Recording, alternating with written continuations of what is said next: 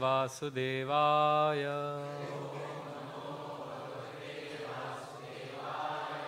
ॐ नमो भगवते वासुदेवाय।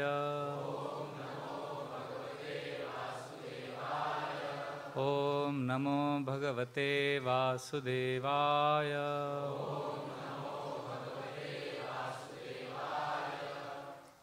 नारायणं नमस्कृत्यं नरं चैव नरोत्तमं देवीं सरस्वतीं व्यासं ततो जायामुधीरये नष्टप्रायेषु अभद्रेषु। नित्यं भागवतसेवया भगवतिरुत्तमश्लोके। भक्तिर्भवति नैष्टकी कृष्णाय वासुदेवाय। देवकीनन्दनाय च। नन्दगोपाकुमाराय।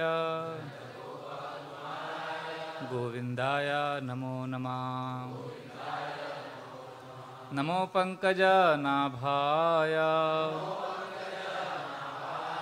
नमो पंकज मालिने। नमो पंकज नेत्राय। नमस्ते पंकजांग्रे। Hare Krishna. Reading from Shrimad Bhagavatam canto 11 chapter 7 entitled Lord Krishna instructs Uddhava text number 19 please respond उवाच प्राएण मनुजा लोके। लोकतत्त्वाविचक्षणाः। समुद्धरन्ति आत्मानम् आत्मैन शुभाशया श्रीभगवानुवाच। मनुजा लोके। लोकतत्त्वविचक्षणाः। समुद्धरन्ति आत्मानम् आत्मन्नेवाशुभाशयात्। श्रीभगवानुवाच। प्रायेणामनुजालोके। लोकतत्त्वाविचक्षणा समुद्धरन्ति आत्मानम्। आत्मन्नैवाशुभाशयात्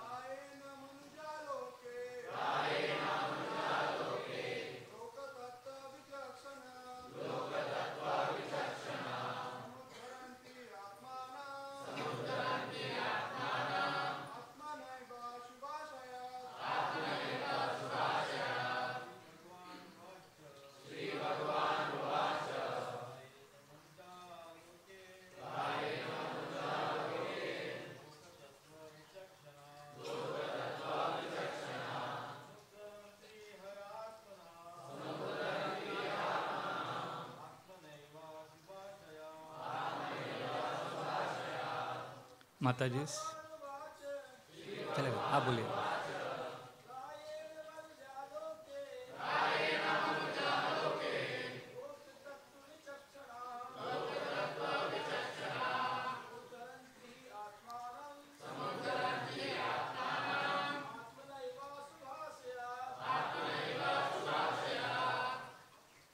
माता जी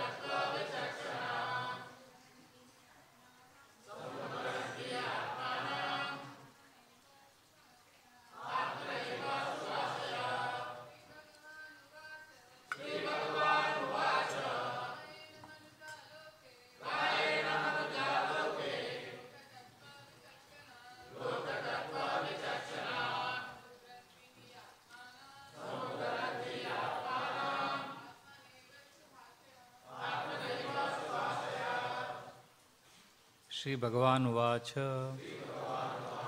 लॉर्ड कृष्णा सेड प्राएण इन जनरल मनुजा ह्यूमन्स लोके in this world लोकतत्व the factual situation of the material world विचक्षणा who know expertly Samuddaranti, they deliver. He, indeed, Atmanam, themselves, Atmana, by their own intelligence, Eva, indeed, Ashubha Ashayat, from the inauspicious attitude of desiring sense gratification. Translation and purport by the disciples of His Divine Grace, Srila A.C. Bhaktivedanta Swami Srila Prabhupada. The Supreme Lord replied, Generally, those human beings who can expertly analyze the actual situation of the material world are able to raise themselves beyond the inauspicious life of gross material gratification. Purport. Uh, before we read the purport, actually, today morning when I was reading the purport, I realized this is such a brilliant uh, purport in the sense it's so very eloquently written. Every sentence is so beautifully crafted. So all glories to His Grace Gopi Paranadhana Prabhu and His Holiness Radhananda Goswami Maharaj who wrote this. So you will find amazing uh, sutras in this purport. So please hear attentively. Sri Uddhava expressed to the Lord in the previous verses his fallen condition and his entanglement in the material concept of life. Now, Lord Krishna reassures Uddhava that even persons far less qualified than Uddhava are able to extricate themselves from the inauspicious life of material sense gratification. According to Srila Sridhar Swami, even if one has not received the instructions of a bona fide spiritual master, one can understand by direct and indirect analysis that the material world is not a place of enjoyment. Direct analysis means one's personal experiences, and indirect analysis means hearing and reading of the experience of others. According to Srila Vishwanath Chakravarti Thakur, Lord Krishna considered Uddhava to be more intelligent than even the demigods in heaven. Uddhava, however, was feeling discouraged, thinking himself unqualified to render devotional service to the Lord. But Uddhava was actually perfectly situated because he had achieved Lord Krishna as his personal spiritual master. Similarly, the members of the Krishna consciousness movement are guided by the instructions of the society's founder Acharya, Om Vishnupad Paramahamsa Parivrajaka Ashtotarashat Sri Srimad A.C. Bhaktivedanta Swami Prabhupada. Therefore, a sincere member of the Krishna consciousness movement should never feel discouraged, but should rather count his blessings and do the needful to go back home, back to Godhead.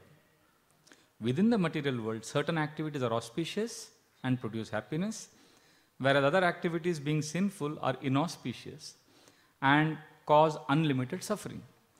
Even one who has not yet received the complete mercy of this bona fide spiritual master sh- should conclude by sharp intelligence that there is no happiness in ordinary material life and that real self interest lies beyond the material platform.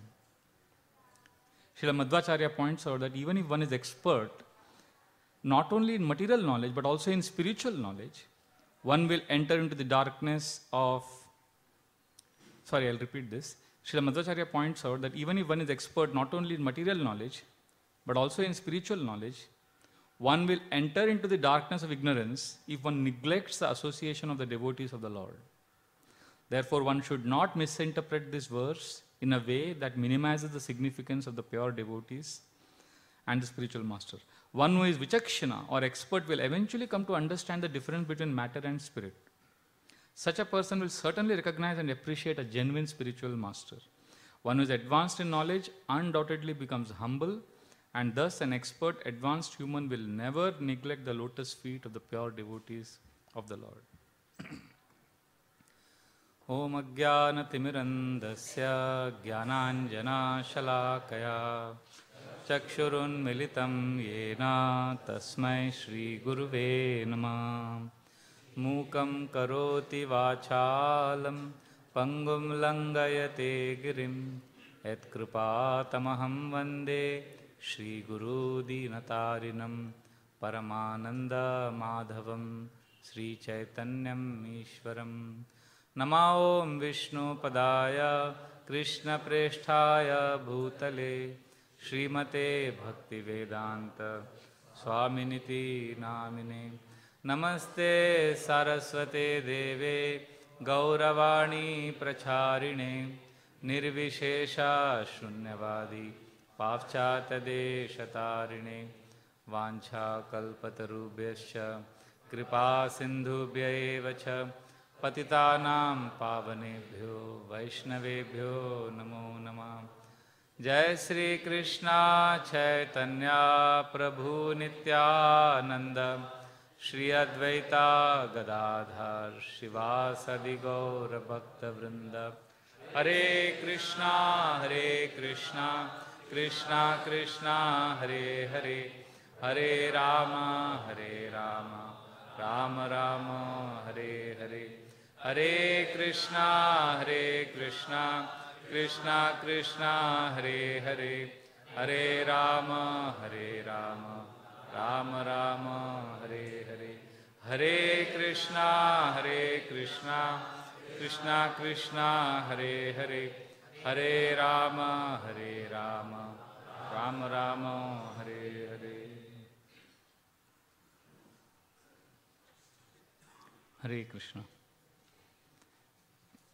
In this uh, beautiful instruction by Lord Krishna, we find the importance of understanding, the real correct understanding, how there is no happiness in this material world.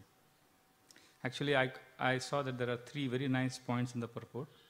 First is how material world is miserable.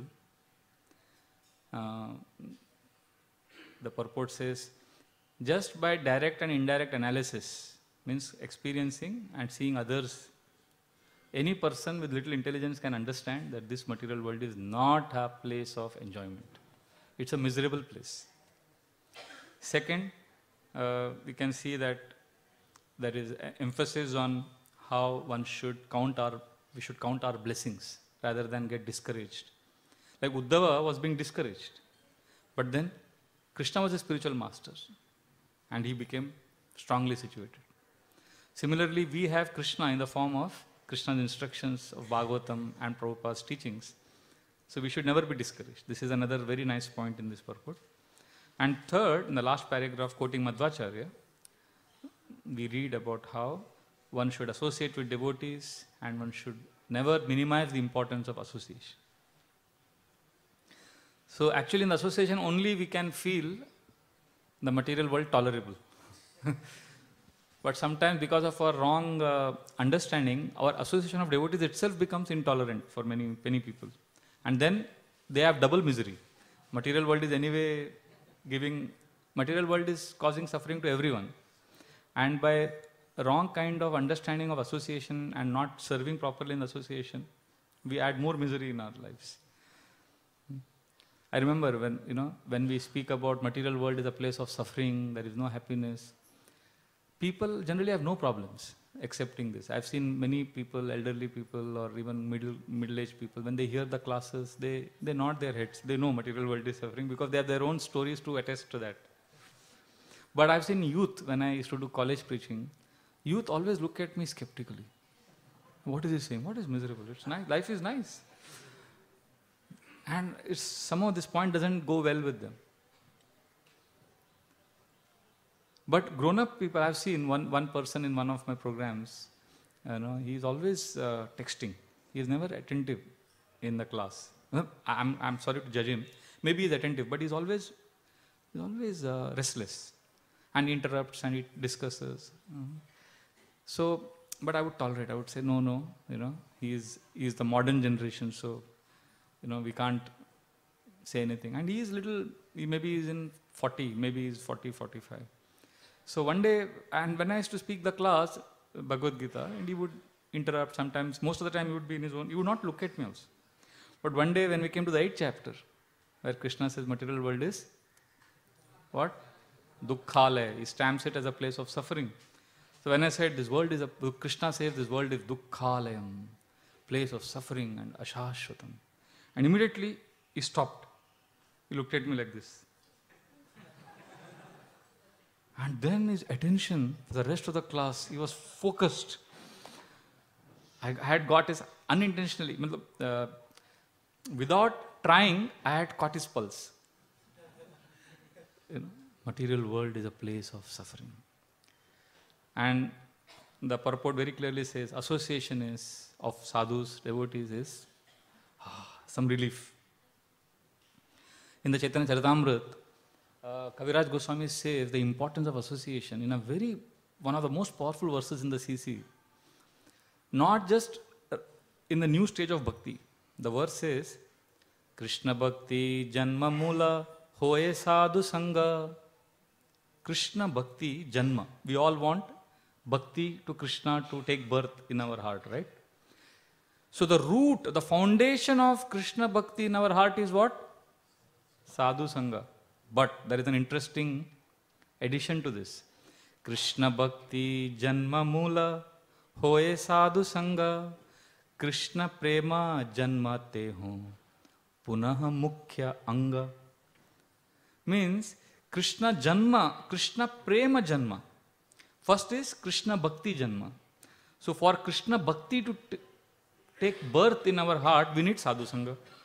Let us say after that practice of bhakti, we actually get प्रेम कृष्ण प्रेम जन्म we have developed love for Krishna then what Krishna प्रेम जन्माते हूँ even then पुनः मुख्य अंग मुख्य अंग the main element the main foundation is what sadhu sanga so in the initial stage of bhakti when we are just new and confused for bhakti to take shape in our heart we need sadhu sangha And then when we develop love for Krishna also, we can't avoid. Sadhu Sangha is the most important. Devotee association is most important. And therefore, we are so fortunate, as you know, as uh, Radhanand Maharaj and Gopi Pranathanam Prabhu write in the purport about Srila Prabhupada's teachings. Srila Prabhupada gave number one priority to writing Chaitanya Charitamrita. He stopped everything else and he ensured that it is published in a marathon, two months. He was desperate because Chaitanya Charitamrita is the scripture which tells us how to take association of sadhus, devotees, how to live in a Vaishnava community, what kind of mood and attitudes we should cultivate, so that we can go back to Krishna and while suffering in this world, we can tolerate the suffering happily. Hmm. Chaitanya Charitraye Sama, Kaviraj Goswami says, Chaitanya, Lord Chaitanya's pastimes and interaction with devotees and devotees' pastimes is like Ikshu Danda. Sama. Ikshu Danda means sugar cane. Chaitanya Charitraye Ikshu Danda Sama. So to enjoy the sugar cane, what you have to do? You have to chew it, get the rasa. Chaitanya Charitraye Ikshu Danda Sama. Charvana Karite Hoye. Uh, rasa asvadana. See, if we chew it nicely, that sugar cane, charvana karite hoye rasa asvadana. So Lord Chaitanya's pastimes are full of nectar. It's like sugar cane. So when we, so first, first principle is come in association of devotees. And then do what in association of devotees? Discuss prajalpa, discuss politics? No. Charvana karite, we, we chew and digest and churn more of Lord Chaitanya's pastimes. So, therefore, this is an important principle. Lord Chaitanya's uh, dealings and pastimes and basic association of devotees is not some ladder, it's not some uh, tool that we use so that we can get Krishna. Because once we get Krishna, Krishna prema janmateho punaha mukhya anga. Even then, the association of devotees is most important. If you see Lord Chaitanya Mahaprabhu and his dealings with the six Goswamis, sometimes as practicing devotees, because we have heard it for last so many years, we sometimes tend to get bored. But this is a life of devotees. Hmm? How, how to live in this world, how to live, how to love, and how to live. We'll find everything in the pastimes of Lord Chaitanya Mahaprabhu and his associates. You know, like uh, recently I was hearing, because we are all trying to prepare ourselves for the upcoming Gaur Purnima festival. And there are so many lectures in ISKCON Desire on Lord Chaitanya's pastimes. And each pastime is like that, sugar candy. When I was, I was reading about uh, Damayanti, I was hearing about uh, Damayanti and Raghav Pandit. Raghav Pandit and his sister, Damayanti, they were so fond of feeding devotees prasadam. And Kaviraj Goswami writes, writes in great detail about how she used to cook. And she was a great cook, Damayanti. And how she used to make special prasadam for Lord Chaitanya. And the such description, you know, you will find it amazing. How can somebody write in such great detail, such fine, fine points? But when we read it, we, we enter those pastimes actually. Like he writes how Damayanti would cook uh, a prasadam for Lord Chaitanya and parcel it and pack it. She would make it in small packet, then put those small packets in a big packet. And so much prasadam she used to cook that it required three people to carry it. And that would be transferred from Panihati, where they were staying in Bengal, to uh, Jagannath Puri. So, some, some, so devotees had to carry it when Shivananda Sen and his party would go from Bengal to Puri for Rath Yatra, they would carry this much prasadam for Lord Chaitanya. So then Lord Chaitanya would be given this prasadam there, and Lord Chaitanya. So many devotees would come to Jagannath Puri, Advaita Acharya, devotees from Shantipur, Navadvip, Srikhanda, Kulina. Everybody would flock in, everybody would come in large numbers. And when they would come, they would want to serve Lord Chaitanya. And Lord Chaitanya's pastimes are described in Chaitanya Charitamrita. It's so amazing, spontaneous. They would chant Narendra Sarovar, Jagannath's, uh, uh, you know, Vijay Murti. Govinda DT is coming on Narendra Sarovar. They are having uh, uh, lake, lake festival. And devotees are doing kirtan. Lord Chaitanya is dancing. And Lord Chaitanya becomes so ecstatic. He jumps into the water. and all the 400 devotees who are with him, they also jump. And then Narendra Sarovar turns into Yamuna. And there are pastimes in Yamuna. And then Lord Chaitanya comes out, he garlands all the devotees, puts chandan on them. Then they go to Gambhira, they have huge feast of Jagannath Prasad. For these pastimes, they just nourish the soul. When we hear these pastimes in the association, we feel, material world tolerate kar lete. hain." You know, It's okay. It's no big deal. That is how the science works.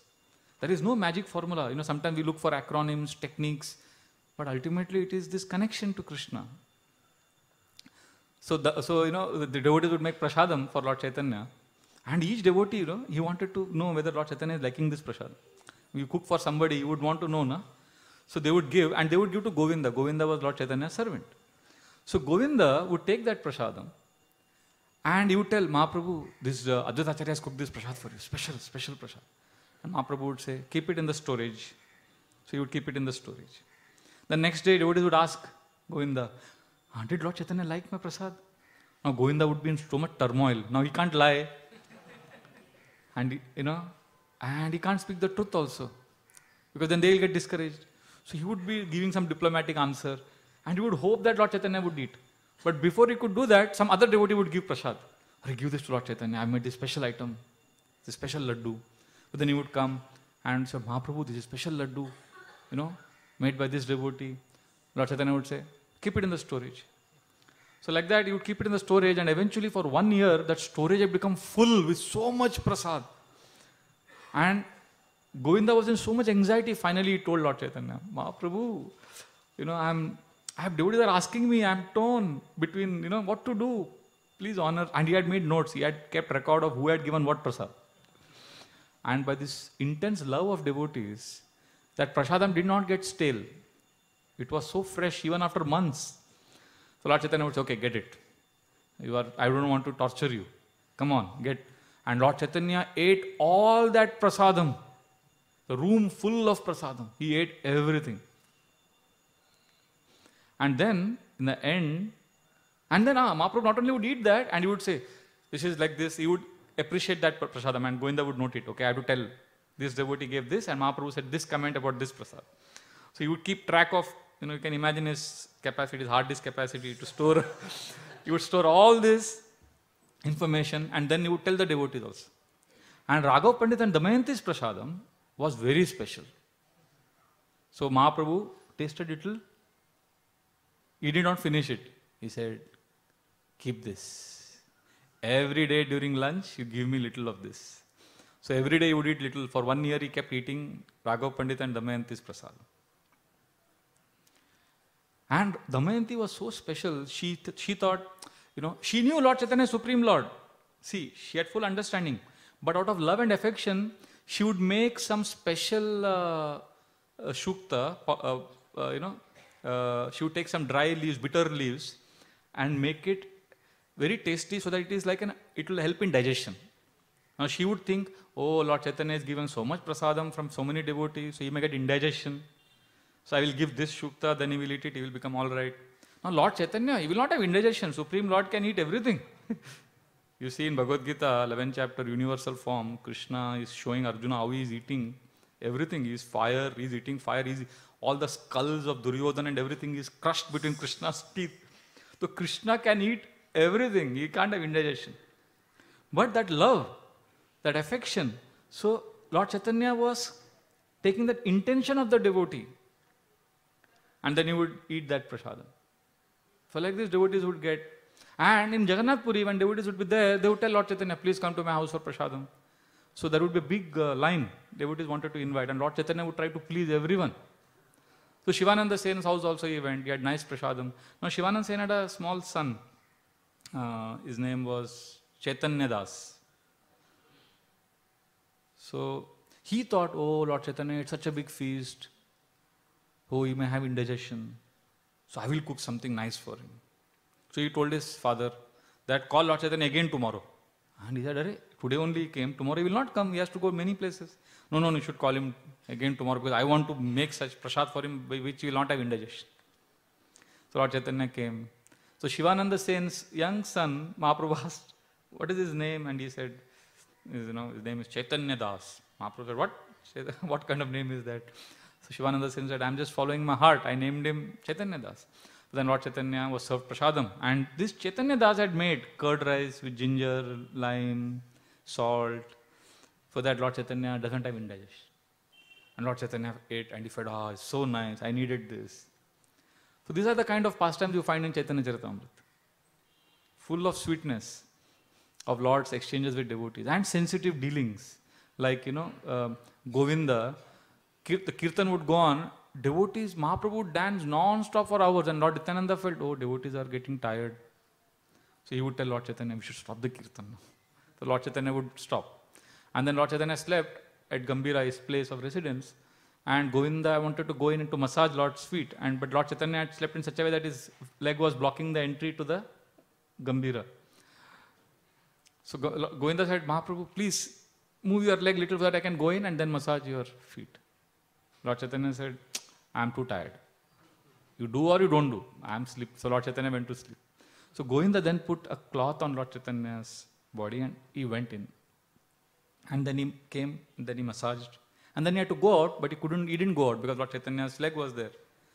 So he waited, waited. And after many hours when Lord Chaitanya woke up, he said, Govinda, you are here. Why didn't you go? You should have taken prasadam. You missed your prasadam. You are just sitting here. He said, My dear Lord, your body, how can I step over your body? It is aparad. Lord Chaitanya said, What? You went, you came here to massage. Now you can't go like this. He said, I came to serve you. For your service, that offense is okay. But to go out is for my prasadam, my enjoyment. So I don't want to do that. So these are the kind of pastimes you'll find, you know, how devotees live, how devotees interact. Hmm. So when we read all these pastimes, what happens? Mm, we feel little uh, relief. We also feel sheltered and loved by Krishna. Otherwise, I think it's unanimous. Many, everyone will accept that pain and suffering is too much in this world. And uh, instead of taking shelter of Krishna, we make our pain and suffering more because of the See, if we don't, if we don't hear about Krishna, what we'll hear? We'll hear about, our, we will hear the stories told by our own mind. See, we have a lot of um, imagination and lot of stories we tell ourselves. See, in this material world, suffering is universal. The sutra, I always say this four words no one is spared. Have to remember, no one is spared in this world. Everyone goes through kicks and beatings by the material energy. No one is spared. Now we have a choice. Now we all have a choice. Everybody is suffering, we are all suffering. The choice is we can brood and lament, oh, this material world is so much suffering. Or this is one choice. Or other choice is, yes, this material world is full of suffering. Scripture says that. Now what I will do, I will move on in life without panic, without judgment, without hatred, and I will move on gratefully. I'll move forward because that is what is recommended also in today's purport. Hmm? Like it is like, you know, somebody, I'll tell you what happens with most of us in material world. We know material world is suffering. Okay? And then we, we contemplate on it so much that we become suffering conscious and we increase our suffering rather than get out of the suffering. Like it is like somebody is eating dal and is finding it too spicy, sabzi. Are bahut hai. Ah, please get more mirchi. If somebody says like that, and he asks for chilies and he's saying it is tikha. And if he asks for more chilies and he eats chilies, what will you tell him? He's mad. Similarly, we are saying material world is suffering, material world is suffering. Oh, so much scriptures are saying it is suffering. And then what do we do? We tell stories to ourselves. He's like this, we criticize others, we judge others, we are finding faults. So what we are doing by that? More suffering. Like, like you know, right now I'm telling you a story. Right now I'm telling past times, or right now I'm speaking to you. You may be speaking to your friends. but what I'm trying to say, is just like we talk to each other, we talk to ourselves also. There is always uh, self-talk, or there is some stories we keep telling ourselves. And there are three stories which are common. All those who are suffering in this world, all those who are in depression, all those who are unhappy, they're always telling these three stories. So we can ask ourselves, is this, is this what I'm telling? And then we can immediately know, I'm going on the wrong path. I have to stop myself.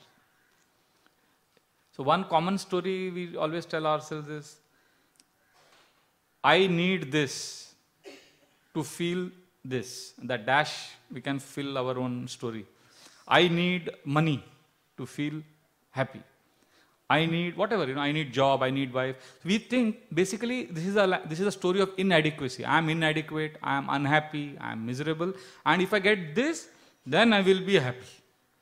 So in that process, what we do often is we ignore the joy of the wealth that we have in the present moment. Like I am chanting Hare Krishna. So I am with Krishna. But what is the story I tell myself? I need to finish my 16 rounds. Then I have to do this. Then I will be happy. I have to finish. So I need to do. See, but we, right now we can be with Krishna. But we always think, we always think we are inadequate. We always think I'm, something is not, life is unfulfilling. So I'm not saying we should uh, not plan, we should not do. But this story which we tell ourselves, we should correct ourselves. We can correct ourselves. The second story is we always say, the world owes me something. I did so much, I deserve this. I deserve this. There is one lecture in ISKCON that you can hear. Uh, expectation is a seed of misery. What a class. So, if you have expectation, 100% only misery is guaranteed. Because if we don't get what we are desiring, then what will happen? Misery. If we get, then I want more, so eventually a point will come, a time will come in life when we will, our desires will not be fulfilled. This is second story. I deserve. First is, I need to do this to feel this. Second, the world owes me something. I deserve this, I deserve that, I deserve this. But who are we? This world is not made to fulfill our desires. Krishna has not made this world for our enjoyment. But subconsciously, deep rooted is this belief that I deserve this, I deserve this. Oh, I'm not getting respect, I'm not getting this. Now, we may be unhappy about it, that's okay. But to think that I deserve it, but why? Who are we? So basically, we are all, let us admit, we are selfish in material world. We always think about ourselves, we are self centered. And this causes only depression because we don't get what we want.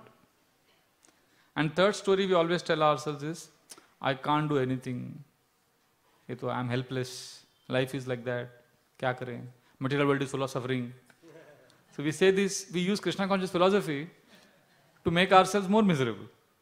I can't. No, we are never. There is never a moment in our life when we are helpless. But we have told this story. अरे कुछ नहीं होगा I am to old I am forty five I am fifty now now I can't change हो गया that that means that story means now you can't improve you can't get make your situation better you know i think uh, it was last month radharani mataji was giving a class here and she gave this uh, seminar on a presentation on inside out and she made a very beautiful point about how we train people from childhood how to speak, how to behave. There are schools which award you for good behavior and punish you for bad behavior, bad speech, good speech. In prisons, there is rectification of bad behavior, good behavior. But she was making a very good point how there is no institution where from childhood training is given to make your thinking good. Proper think to, to take care of your feelings, to take care of your emotions, thinking. We don't worry about that so much. And what happens is, she was saying that how we overblow things.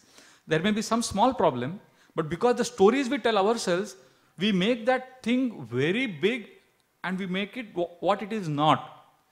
So she was giving a funny example of her own children when they were very small. She said if one of the daughters pinched another, so now she would cry and tell the mother, uh, you know, it is she has pinched me. But what she would do, that girl, she would herself pinch a little more, make it more red, and then she would go and tell mother, see, because she did like this to me. So, so Mataji was saying in the class that how many times something wrong happened to us. Okay, material world is suffering. क्या करें? Scriptures में लिखा है ऐसा. But what we do, we make it more. We blow it out of proportion. Like you give some service to someone, something is told, and you have done a little wrong. And that, that person says, Oh, you did like this, you did such a big blunder. Abhi kitna hoga, abhi pura destroy ho jayega, ye ho jayega. You know, they, they make such a big story out of a small thing. Like somebody is uh, stabbed with a knife on the stomach. Ah, so it's painful. But imagine you have been stabbed, and this person who has been stabbed, he takes that knife and then he only moves it more. That's what happens in our inner life. So we have we go through some bad experience somebody says something bad, somebody does something injustice to us. So then we have this philosophy of Bhagavad Gita to tell us, material world is hai. Theek. And then we move on gratefully. But what we do? That knife, we turn it more and make our lives more miserable. Hmm, we make it more, it's called as horribleizing. Horrible, it's so horrible, the world is so horrible, people are so horrible. You know, like I met one devotee from Pakistan he preaches in Pakistan. He has a very nice devotee. He was telling that, Prabhu, you know, uh, I was discussing terrorism with him. He said, Prabhu, Pakistan people are very nice, like in India only.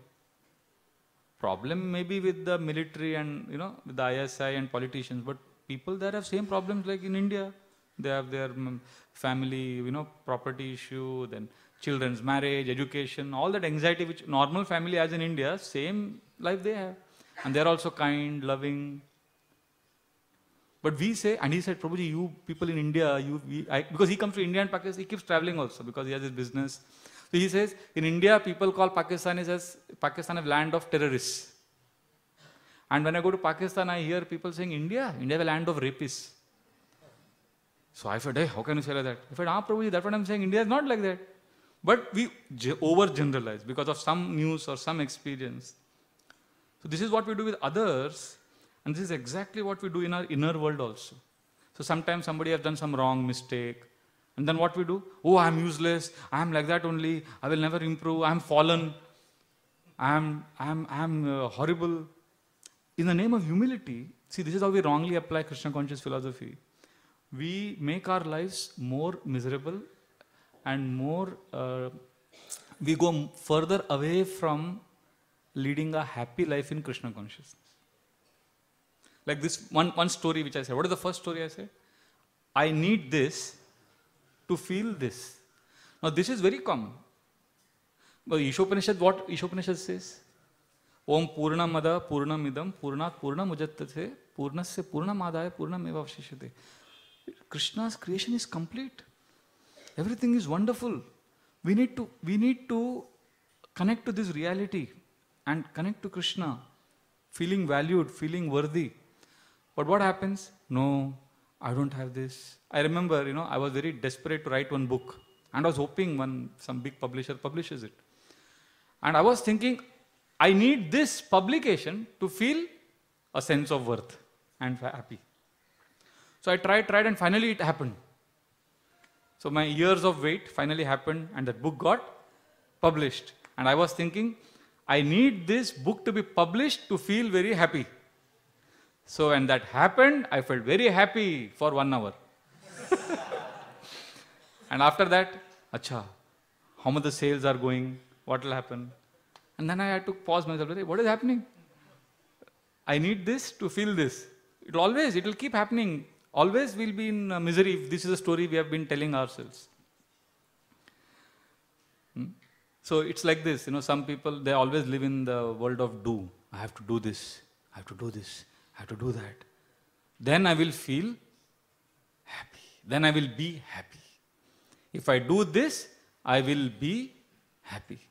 But those who are in Sattva Guna, those who lead a life centered on uh, mode of goodness, they are happy. So then they do things. See, there are three things have, do, and be. Tamo, tamo think, uh, mode of ignorance thinking is if I have this, then I will do this, then I will be happy. Rajo, Rajo Guna is I have to do this, I have to do this, then I will be happy. So, but what happens is instead of being happy, they become doing only, doing. So instead of becoming, they're not human being, they are human doing. But when we are connected to Krishna, when we are present now, like for example, right now, if you are hearing the class and if you are taking darshan, we are with Krishna, we are present, there is no nothing lacking in the present moment now, then we are happy. Then our actions will be driven from that state of being, of sattva. Hmm? The 14th chapter of Gita explains this very beautifully. You know, Krishna explains what are the qualities of Sattva Guna? Simple. Sattva Guna is what? Knowledge and happiness. If, if, if our life, we are feeling generally happy, satisfied, knowledge, then Sattva Guna lifestyle. Rajo is what? Hankering, greed. And Tamoguna is Nidra, Pramada, Alasya, laziness, uh, indolence, uh, madness. So, if you take one word for each of this, Sattva means satisfaction. Rajo means activity, action, action, action. And Tamo is what? Helpless. मेरा कुछ नहीं होगा मेरी जिंदगी तो ऐसे ही है you know people speak this language so we have to ask ourselves what is what is my operating system helpless then what is our primary mode in which we are living help, if, if, if my operating system is helpless, I'm helpless, then that means tamogun. If the operating system is activity, rajo. If it is satisfaction, it is sattva. But un unfortunately, what happens, you know, we misinterpret Krishna conscious literature. Uh, we hear about pure devotees crying madly in love for Krishna. Mad, they are in madness, transcendental madness, and madness for Krishna. And, and they are also helplessly dependent on Krishna. On Krishna. So what happened, many of us, we forget the, we, we miss out the Krishna part. And we, we are helpless. We take the helpless very seriously. That helpless registers in our consciousness. I'm helpless. But we are supposed to be helplessly dependent on Krishna. That we forget. Dependent on Krishna, go from the side, helpless. And we have to be mad for Krishna. Krishna, for Krishna, we are mad. So what are the symptoms? So madness and helplessness is a symptom of tamoguna, ignorance. So externally, a tamasic person may appear to be same as a pure devotee. It may appear. So if Krishna factor goes away, then there is disaster. So we have to be careful of uh, these kind of stories. I can't do anything. I'm helpless. So, so if we if we invest emotions in our uh, practices and we connect to Krishna, then there is happiness. Then this material world is worth, you know. If you're really connected, then it is okay. When, when there is Krishna, when Krishna enters our consciousness, then we are connected to the Hladini potency of the Lord. That is the, that is the pleasure potency. That is how there is happiness for devotee's life. Otherwise, uh, there is no happiness in material world. Prabhupada gave this nice example, sweet rice. He said material world, spiritual life is kheer. Material life is kheer mixed with sand. So imagine you are eating kheer mixed with sand. Sweet hai, but sand. That is material life. So if we are feeling that, that is material life. Miserable. Hmm? Like we have, and what we do, instead of connecting to the Krishna principle, which is the real key, we get distracted through our nowadays electronic gadgets. We have so many, so many things. Smartphones, smartphones and stupid people. people should be smart. So there are distractions.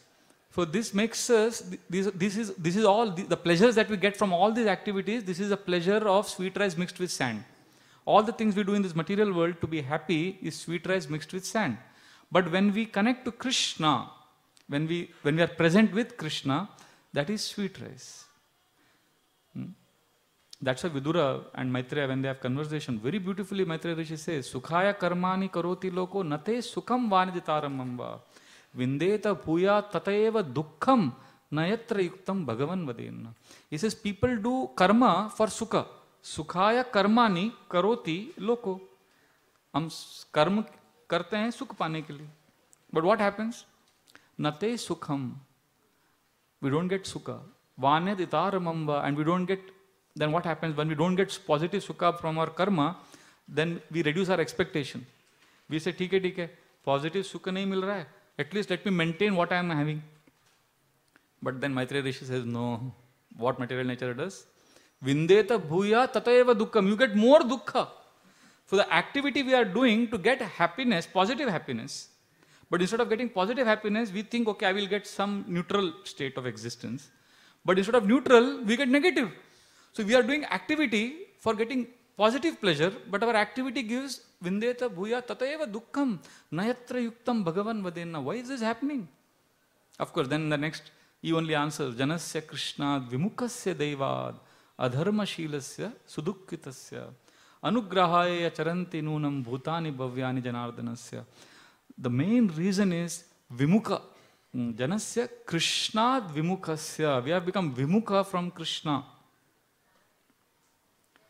And then adharma shilasya, then we get distracted. All the distractions in this world we have, unlimited distractions. And then, therefore, we have anugrahaya charanti nunam. Therefore, we have pure devotees who go around, travel, they give us Krishna consciousness. So, therefore, this is the solution.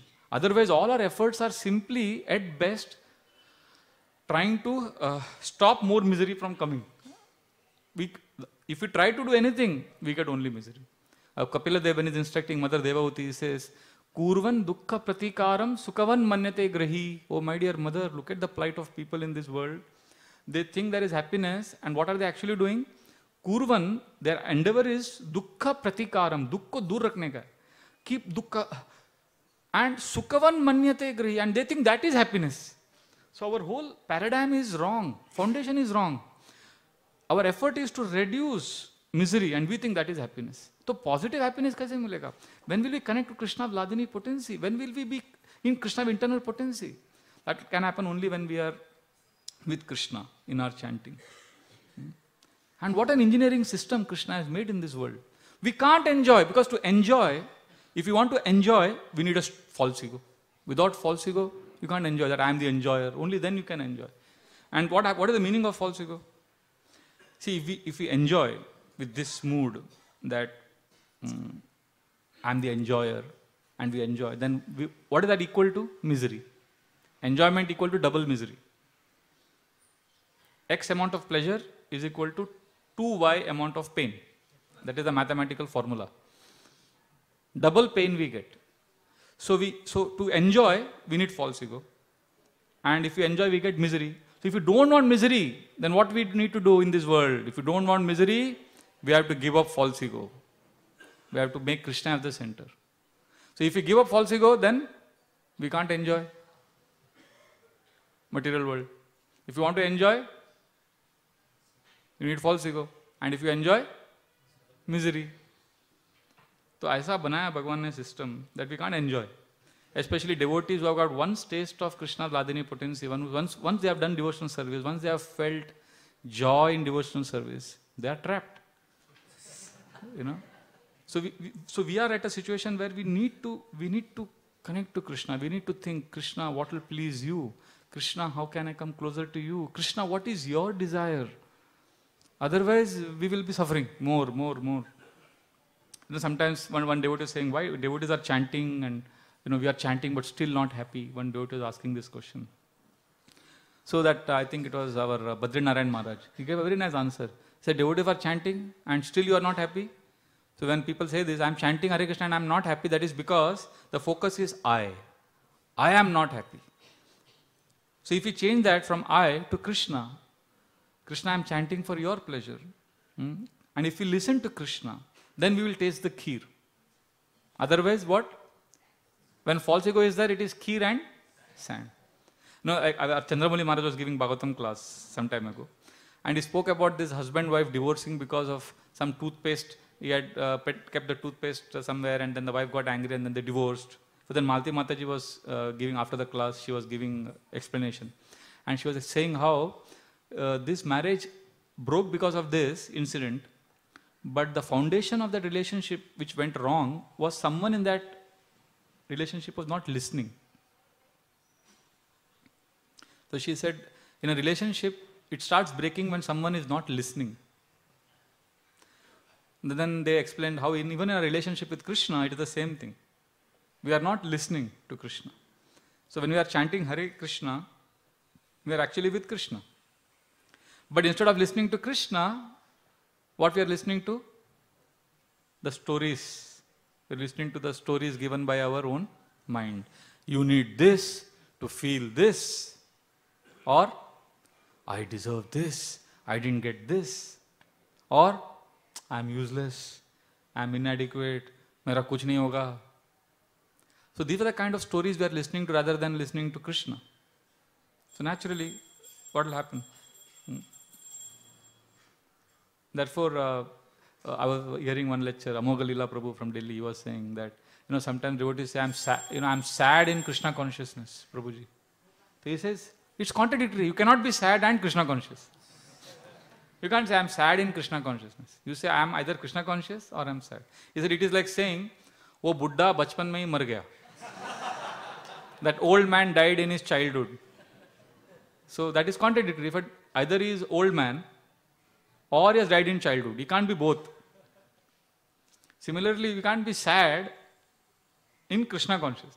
Unless we are, of course, on a pure devotee. We're not talking about the pure devotees who are always absorbed in Krishna. Hmm? So, so let us change from, uh, so, so basically so far what we discussed, I'll conclude with this last very important theme, but before that, what we discussed so far is our uh, material world suffering is because of the false ego, because of the stories we tell ourselves. The three stories. Hmm? I need this to feel this. Second, the world owes me something. And third, I am helpless. I can't do anything. So now what we need to do is we need to change that stories. We need to speak different kind of stories to ourselves.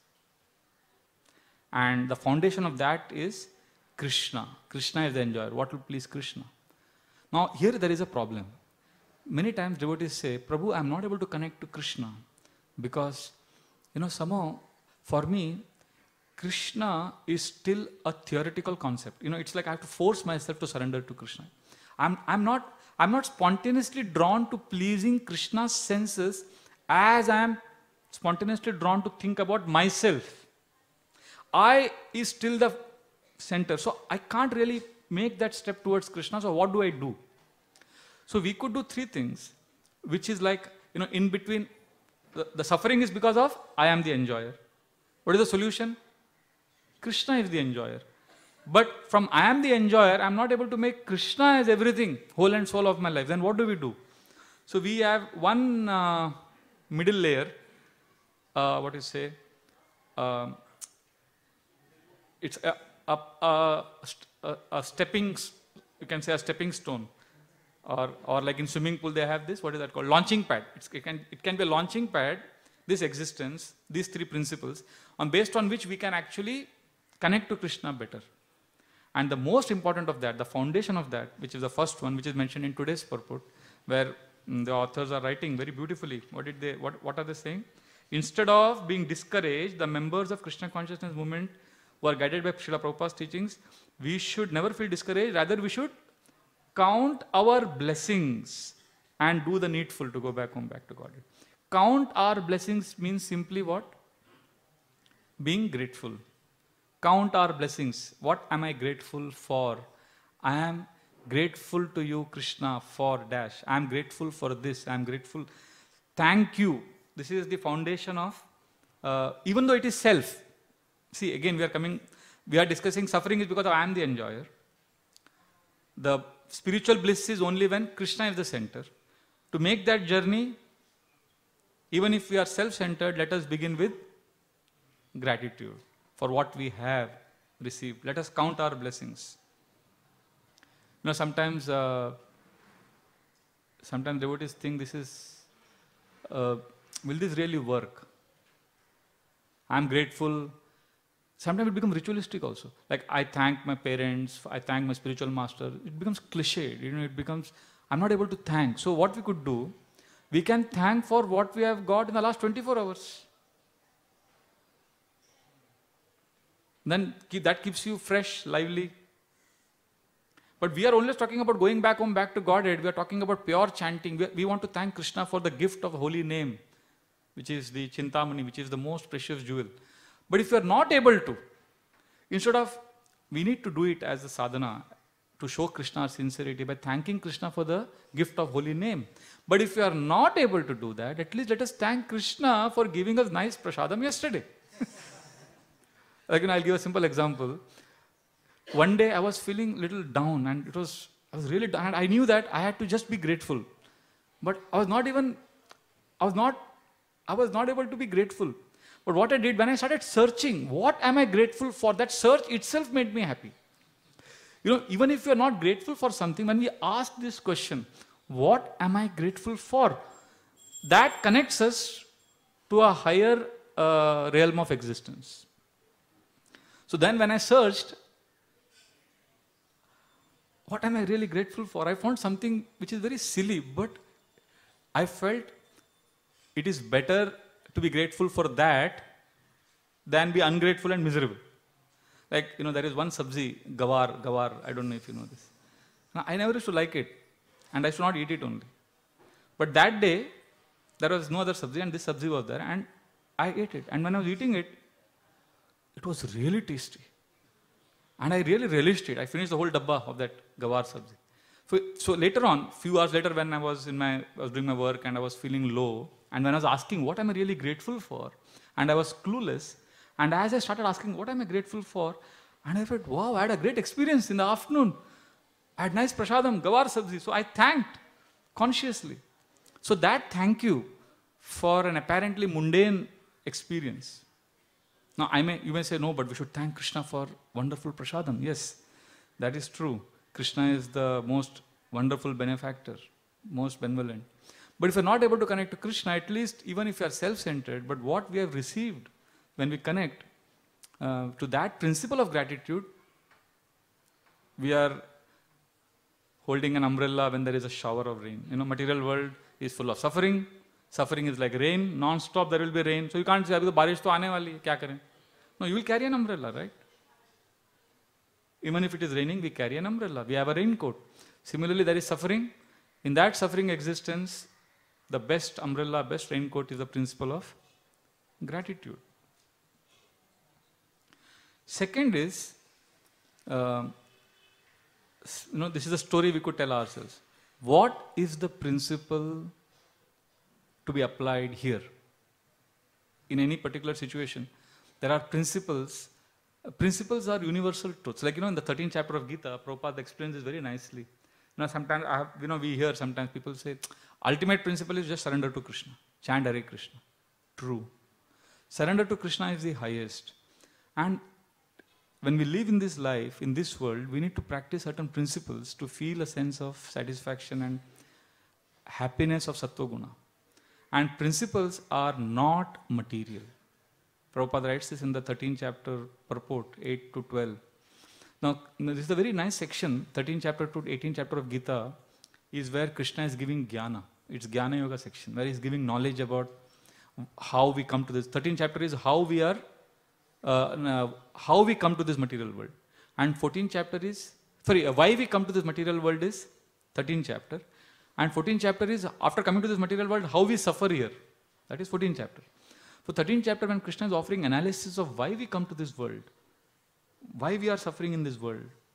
So he says, he's answering Arjuna's different questions. And one particular question is answering of Arjuna is, what is knowledge? What is real knowledge? So then Krishna speaks amanitvam, adambitvam. He speaks about humility, tolerance, you know, respect, all these things. And then he says everything other than this is not knowledge, it's agyan. It's a long purport by Srila Prabhupada. And he, Prabhupada begins the purport by saying that many times when we read these principles, we may think this is all material because in the beginning of the chapter, Arjuna was asked Krishna, what is Kshetra? And Krishna had said, Kshetra, field of activity. This body is the field of activity. And Prabhupada explained how this material creation is consisting of 24 elements, the knowledge acquiring senses, you know, the working senses, the sense objects. So all these things constitute kshetra, the material world, the field of activity for the soul. And then Srila Prabhupada says now that when we hear all these qualities, principles, we may think, oh, these are also interaction of field of activity only. These are also part of material world only. But Srila Prabhupada emphatically writes, no. Although it is principles are practiced in this material world, because they help us get out of the material world, they are not material. They are not part of the kshetra. So these principles will, will nourish us, will help us come closer to the aspiration of wanting to please Krishna's senses. Hmm? And the third principle is this is first is gratitude. Second is asking the question, what principle is in play here? And third is seeing Krishna in our day-to-day activities. That is the 10th chapter of Gita, 7th chapter of Gita. What is the 10th chapter? What does Krishna say? Whole section from 19 to 42 is what? How to see Krishna. Krishna gives a group of uh, thing and then he says how he is the most prominent aspect in that group. He says of the mountains I am Himalayas. Of the rishis I am this rishi of the uh, luminous objects in the sky, I am sun. Of the rivers, I am Ganges.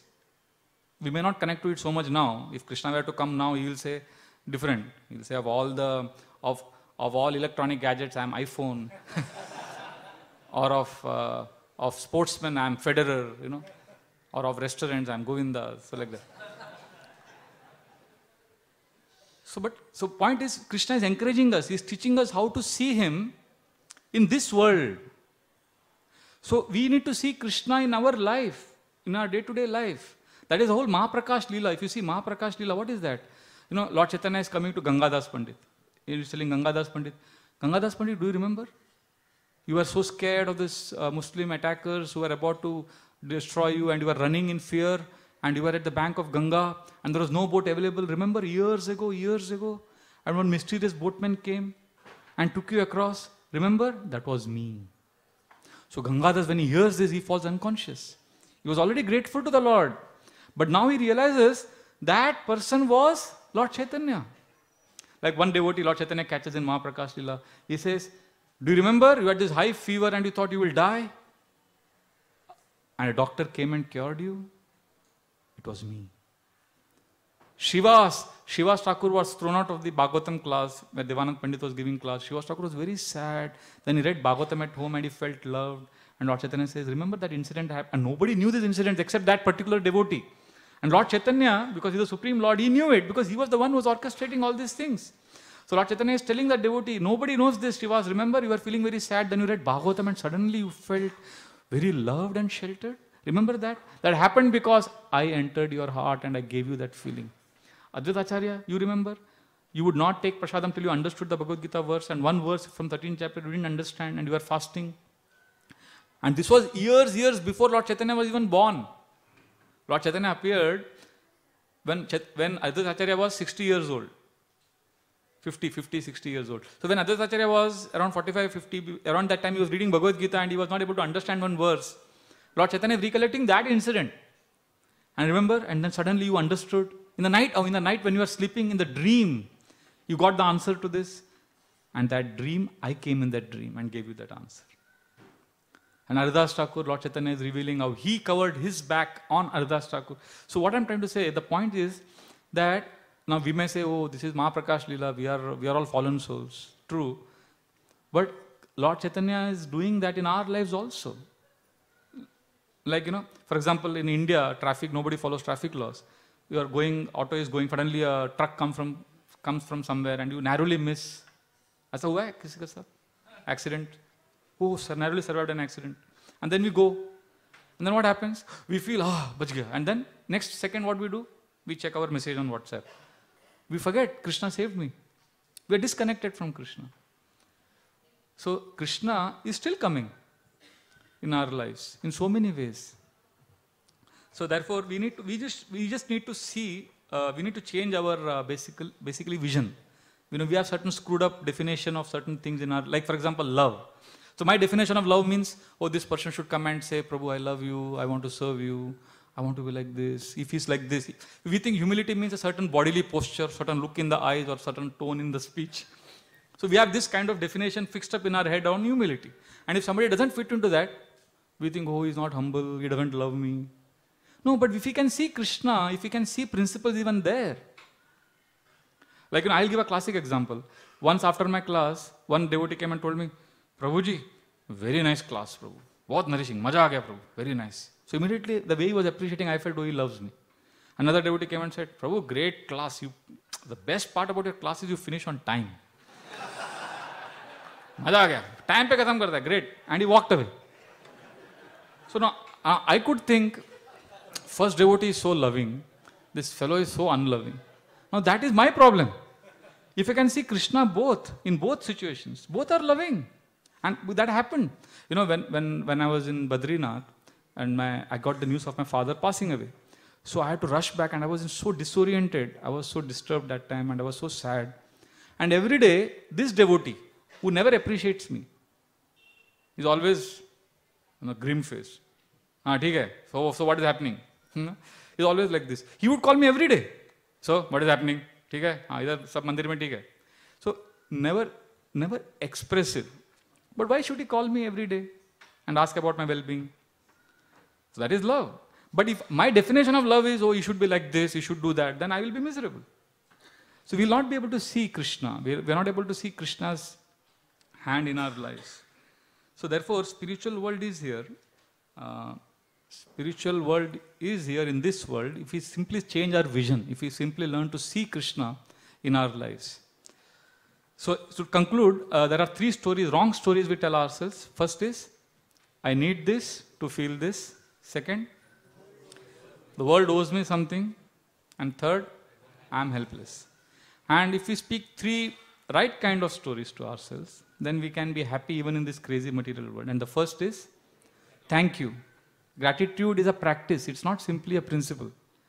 It's not that, oh, we feel grateful. What is, we can practice it. We can write down our gratitude. We can speak our gratitude. Second, asking the question, what principle is in play here and applying that principle. And third, seeing Krishna in our day to day activities. Then our life in this material world will be will be tolerable. It will be happy. See, materialistic person, for him, dukkha is equal to dukkha. For him, sukha is equal to dukkha only. Why? Because when you become happy in material world, you suddenly become insecure. अरे चला जाएगा But fear, fear is very much prominent in material world. Ahara, Nidra, Bhaya. Bhaya is, Prabhupada writes in uh, Bhagavatam purport that of the four propensities, Ahar, Nidra, Bhaya, Maitun, Bhaya, fear is the most difficult to transcend because fear is involved in the other three also. Ahar, Nidra and Maitun. So fear, fear, always fearful. So even when we are happy in material world, we are fearful. Ye nikal jayega. like Radhana Swami Maharaj was once in Kolhapur many years ago. He was giving a lecture to the IYF youth, youth in Kolhapur. And he asked them, so young boys here, how will you feel if the most beautiful woman of Kolhapur, young and most beautiful woman, becomes your wife? But then all these boys started blushing. And Mara said, Oh, if she becomes your wife, then you will be the most miserable person. because you'll always be worried about, you know, are the other men looking at her? Or you'll be worried about losing her? Or you'll be worried because of other reasons. But you will not be happy even if you get what you really want. So dukkha is equal to dukkha and sukha is equal to also dukkha. But if we make these principles at the center of our life, gratitude, living by principles, and also seeing Krishna in our day-to-day life, then what will happen is, then in spiritual life, sukha is equal to sukha. And dukkha is, is also, because there is remembrance of Krishna, dukkha also becomes sukha. So that is the way the whole paradigm changes. And life in this world becomes blissful. That's why Prabodhananda Saraswati says that um, केवल नरकायते त्रिपशपुराकाश पुष्पायते दुर्दांतेन्द्र काल सर्पपतली प्रोत्कात दंश्रायते Vishwam Purna सुखायते A devotee finds the whole life in this world as sukha, full of bliss. That's so hopefully we'll reach that stage one day. Thank you very much. Hare Krishna.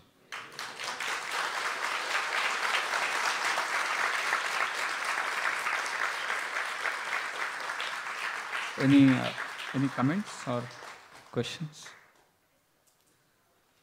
I see one, two, and three. Is that okay? Yes, bro. Yes, bro. Thank you, Broji, for wonderful lecture. Uh, very applicable, relevant. Uh, uh, the three good stories which you said, bro. First one, gratitude, and second, seeing principles in play. Uh, I was just relating it and I was thinking that for me the first negative story is say very strong.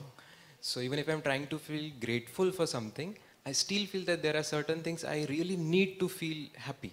So my question was,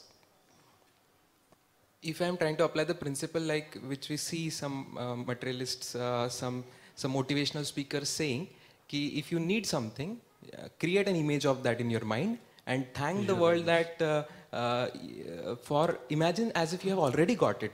Be grateful for that. So where does this stand in the principles? Is it appropriate or not? You are saying, uh, if I uh, just correct me if I'm wrong. You are asking, is it okay to apply these principles of visualization and all that, which motivational speakers speak? No, I don't. I'm not sure whether it is gratitude. No, if you're asking if it is gratitude, then it is not. Gratitude is something else. Gratitude is not, we are not, gratitude is basically thanking for counting our blessings for what we have. You're talking about achieving goals, targets. Oh, that's a technique people give in the outside world, which if it is going to help you in your spiritual life, it is healthy.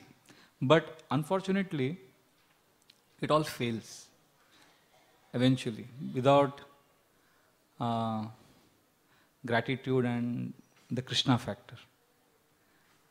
I see, I was, um, one devotee gave me an interview of uh, Michael Jackson.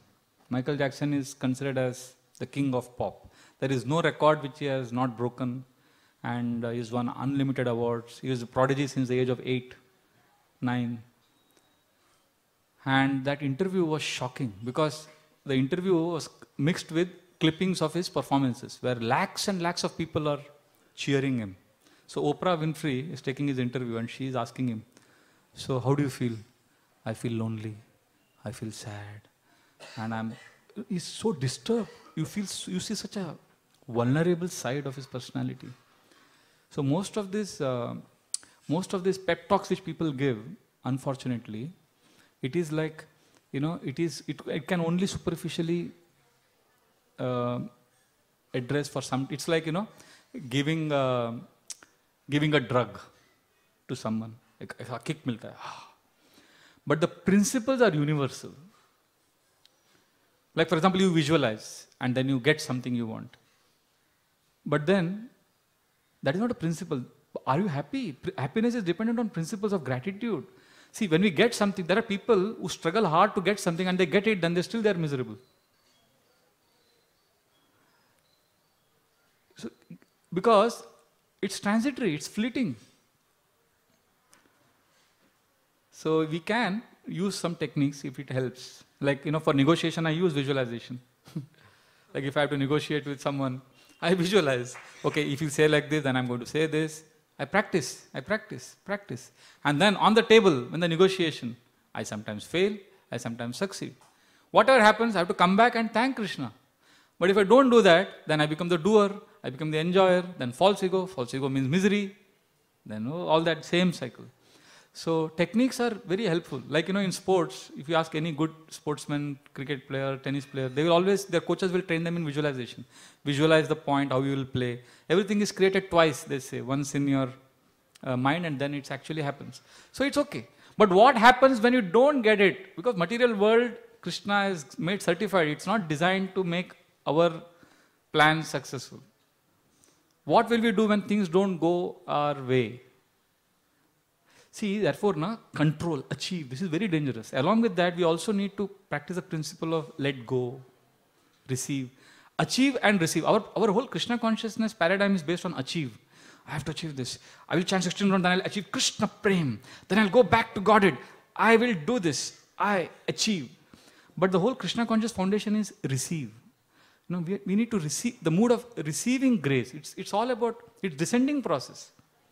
So if visualization is helping us connect to the principle of receive, then do it. But if it is only going to increase the achieve mode, then it's going to disconnect us from you know life enhancing principles. We will not our life will be uh, we'll be practicing life alienating things. We will not be happy. We will not feel nourished. Is that okay? Thank you, Prabhu. Sridhama Saka Prabhu. No, somebody, Prabhuji had a question and then Sridhama Saka Prabhu can end with your comment. First of all, thank you for, for giving so much enlightenment. My question is you said uh, that uh, many times we are in the mode of doing, but the fact is that when we are in working life, obviously we plan many things. Sunday is planned and Monday is also planned what meeting has to done. So it's not possible for, I think, please correct me, to come out of this mode of doing. So how do you see that? Because somebody can say that I'm Atmaram, I'm satisfied, but it can be a sign of laziness then. So how do we see that? Yeah, you are right. You know, there are two problems. One is Atmaram, I am being. So in that, in that name, people become irresponsible and they become lazy. Okay? That is one problem. Other problem is, other extreme is, I am doer, I have to plan. Then we become in the we become control freaks. So two extremes. One is control freak and one is lazy. Both are bad. Both are dangerous. Tamogun and Rajogun. Sattva is so utsaha, nishchaya, dhairya. All three are needed. So when you are making a plan, you are saying we have to plan, we have to do. Now let us say you have planned. I'll go for Bhagavatam class and I'll sit in the Bhagavatam class and attend the Bhagavatam class. So that is good plan. Now you have come here. Let's say you have also made a plan. I'll go to office, then 10.30 to 11.30 I will complete my office work. You made a plan, fine. Now you have come to Bhagavatam class and what you are doing in the Bhagavatam class? If you are planning now, what I will do, or if you're thinking of your office work, if you're not present, then that is disastrous. Planning is okay, doing is okay. But when we are doing something, when I say be present, that is what we are saying. Be here when you are doing this activity. But while attending the Bhagavatam class, if you are saying, I need to do this because I need to feel this. If we're not present, then we are miserable. There are people, you know what they do? Uh, people think, I will do this, I will do this, then when I do this, I will be happy. I have to do this, I have to do this, I will be happy. This, this is their operating system. So, what happens eventually, I'll tell you. So, under bed. I have to do this, then I'll do this, then I'll go to temple, then I'll be happy. If this is the mindset, then you have done that, and finally you have come at 10 o'clock to temple. Will you be happy? No. Why? Because Whole day you have been thinking, I will do this, I will do this, I will do that. And then when you come to that stage which you wanted to be in, because the last 23 hours and 59 minutes, you have only lived in a future happiness. So when you reach that future happiness, when that future becomes present, because of the practice of always living in future, then at that moment also, you will live in future. अच्छा अभी इधर आ गया मंदिर में कितने बजे जाने का घर पे अब फिर क्या करने का so you lost it so we are so I am not saying we should not plan but अभी प्लान किया अभी क्या प्लान अभी बैठो ना अभी क्लास में बैठे तो forget don't look at the watch it's easy to say when you're giving class but the point is some, sometime at least we need to switch off that control mode you know watch i'll tell you personally you know my, my, I, I, I can't say i'm not a control freak but when i gave up these you know small small things i gave up like time chhod do time like chanting के समय घड़ी छोड़ दो you see a big difference we are chanting we are looking at the watch constantly analyzing अभी bus stop तक जाऊँगा ten minute walk है तो एक डेढ़ माला हो जाएगा फिर बस आएगा तो अ, चार माला बस स्टॉप में अ, छह माला ट्रेन में प्लानिंग प्लानिंग अरे it's like you know it's you are with krishna i am with krishna the supreme wonderful most lovable lord imagine he's sitting in front of you and you are looking at krishna and looking at the watch when are you going when, when will you leave i've got this looking at, and you're, we're talking to krishna but looking at the watch अरे छोड़ दो यार सब कृष्ण के साथ रहो so that's what I meant. So you plan, you can plan you are being with Krishna, but when with Krishna, be with Krishna. When you're working, when you're taking prasadam, take prasadam. So I've seen people do multitasking. One of Krishna's qualities, Krishna is Chatur. Chatur, Rupa Goswami says, is who can do many things at the same time. Krishna, when he's killing Keshi, he's punched Keshi's face with his left fist, andar dal diya.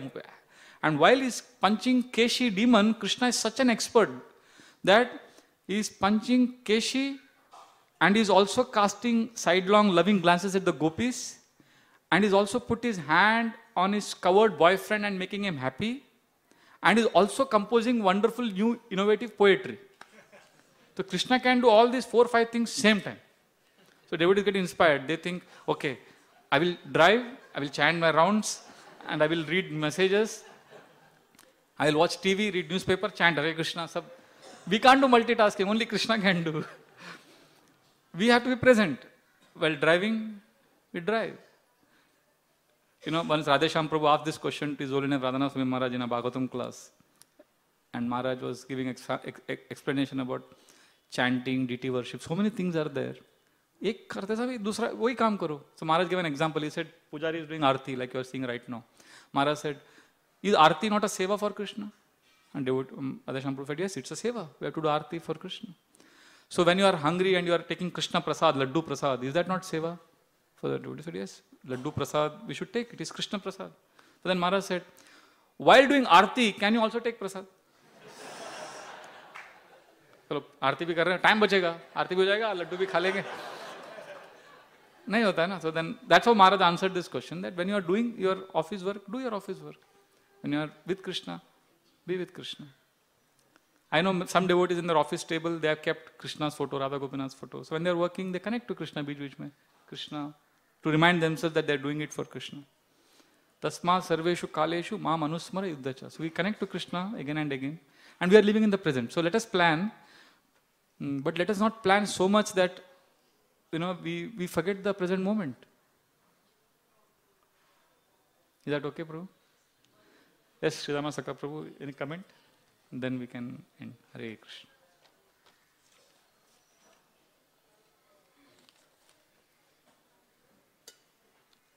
Hare Krishna. So only comment is probably it was a beautiful lecture filled with dozens of so many practical and hope-giving uh, instructions. Thank you. It was wonderful.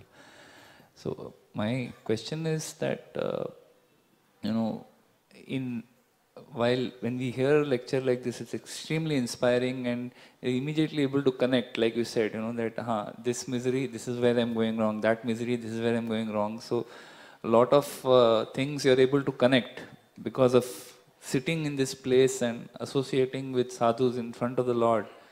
But uh, when we go back to our day-to-day lives, our practical day-to-day lives, uh, again we forget these principles and we again go into that negative spiral you know you something goes wrong and you come negative and then you do something to correct that and it becomes worse and you go into the negative spiral so what can we do to you know retain these instructions in our heart and keep referring back ah i had heard that what is what can we practically do to remain fixed in these instructions Okay.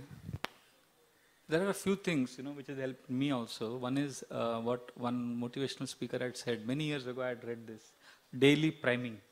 He says daily spend some time uh, connecting to what you really are, who you really are, what really your vision is.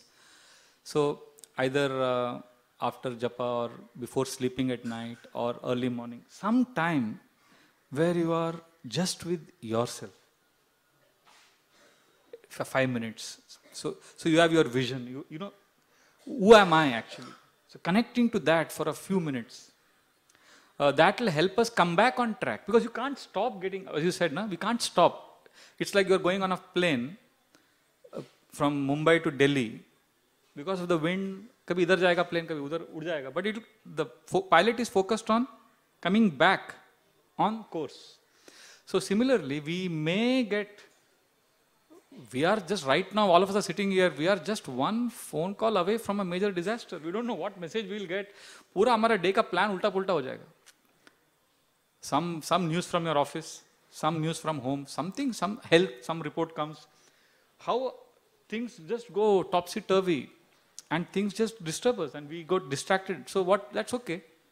But coming back keep coming back keep coming back. And one day that becomes a part of our existence. You know we krishna in the heart he reminds us as paramatma he, he reminds us to connect to that that vision that that my who, who really am i so that is one way we could uh, keep remembering these principles.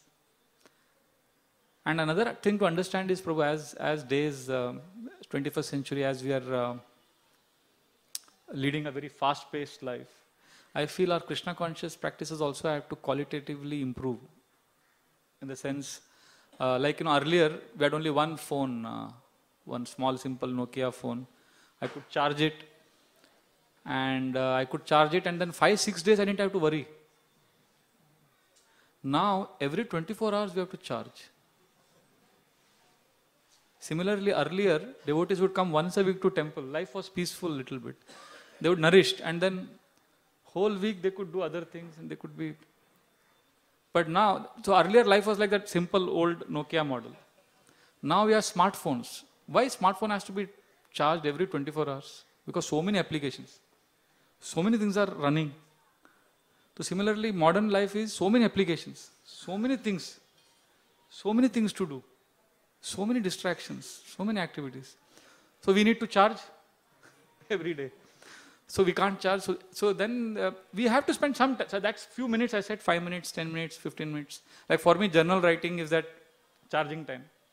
For some people it could be deity worship. For some some it could be bhagavatam reading whatever so some charging time has to be quality charging time has to be there every day and that's how we get reconnected to our vision our principles but we never we should remember one thing we never need to feel discouraged ठीक है भूल गया ठीक है अभी class सुना मजा आ गया समझ गया and then completely forgot after three days you realised अरे यार पूरा भूल गया सब क्लास में मजा आता है बाद में then what happens the mind comes to the back door mind से यू आर यूजलेस कुछ फायदा नहीं you forget everything that's when we have to catch ourselves from speaking this story I am useless no ठीक है now I am okay no this अभी अभी अभी कर सकते हैं ना now I remember. So let us celebrate the fact that now I remember my vision or now I remember to practice these principles. Now I want to glorify Krishna. Many times, when you are down and attacked by Maya, that is not a defeat. The defeat happens after that. When you are down, then Maya kicks us more, saying, See, you are down. You know, like Australian cricket team, I don't know how they are now. When I was a young boy and I used to watch cricket, Australian cricket team was very famous or infamous for sledging. So the batsman would come to bat and you would get a bouncer and you would get shaken and then the fielder would say, you are useless or, you know, you will get out Go back to pavilion. Your mother is waiting for you. so they would try to discourage him. So similarly, when we when we forget the principle which you are saying, we forget because that's how material world is. Avaranatmika Shakti. So when we forget, and then when we remember we have forgotten, instead of connecting back to the principles, Maya starts sledging. Kya hai? You're useless. What will you remember?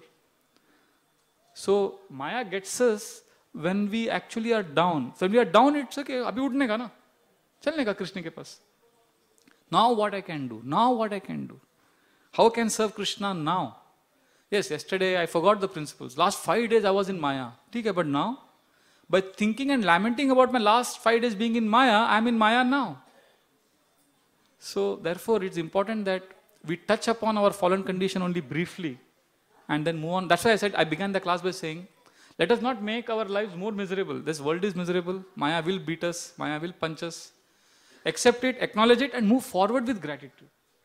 So I think that I think that is where we need to um, be. That's how we can be positive. Okay, Prabhu, is that okay? Thank you very much. Srila Prabhupada ki jai. Tantra Srimad Bhagavatam.